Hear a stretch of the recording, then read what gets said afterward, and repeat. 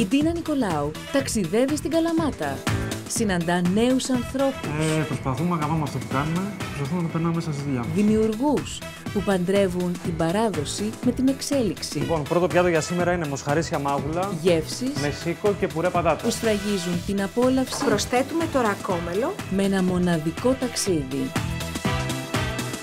Γεύσεις Ελλήνων. Πεντανόστιμο. Την Κυριακή στις 3 και 4 το μεσημέρι.